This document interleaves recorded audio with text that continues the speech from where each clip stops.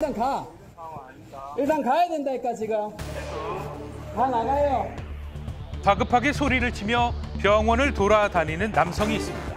그리고 환자와 보호자는 일사불란하게 모이는데 대체 병원 안에서 무슨 일이 그 있었죠? 새벽 3시쯤에 병원 주차 타워에 차량이 폭발했다라는 화재 신고를 받고 출동했습니다. 그때는 주차 타워 외벽에서 불꽃이랑 연기가 막 튀어오르는 상황이었고 그 주차 타워 내에서 원인은 알 수 없는 그 폭발음이 계속 펑펑 하면서 계속 들려오는 상황이었습니다. 병원에서 화재가 발생했습니다. 서둘러 대피하기 시작하죠. 그 사이 화재 신고를 받은 경찰과 소방관들이 빠르게 병원으로 출동합니다.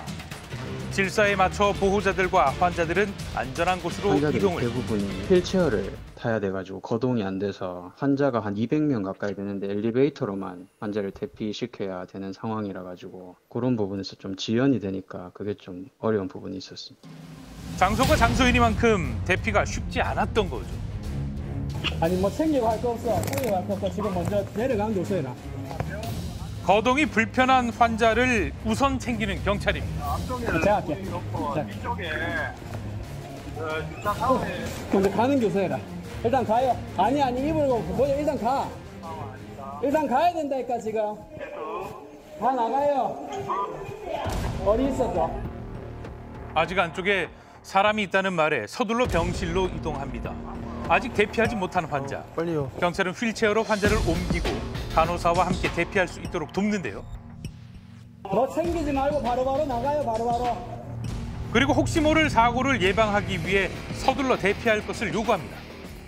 환자들이 나이가 많고 몸이 불편하니까 제가 올라갔을 때는 연기가 이미 들어오고 있는 상황이었거든요. 매캐한 냄새가 나고 그래서 이게 연기를 더 마시면 환자들이 많이 위험해질 수 있겠다 싶어가지고 일단 환자를 살려야 되니까 뛰어다녔던 것 같아요. 아직 병실에서 빠져나오지 못한 환자가 있을까 계속 수색하는 경찰입니다. 화장실 안까지 놓치지 않고 꼼꼼하게 확인하는데요. 196명 정도 환자였는데 전원 다 무사히 구조됐었습니다. 네, 신속하고 차분한 대처 덕분에 단 한 명의 인명 피해도 없이 모두 대피시켰습니다. 국민들이 위험에 처했을 때 그리고 도움을 필요로 할 때 언제나 든든한